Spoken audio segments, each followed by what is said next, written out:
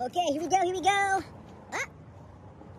Talks about soccer in the description, however, it's pointing a little bit here this direction. Could it be in the tree? Ah, right about here. Okie dokie. Mutt Mitt better than a bag. Nope, I bet it's one of these typical under the light skirt. Let's check it out. Here we go. Check it out, man. Voila.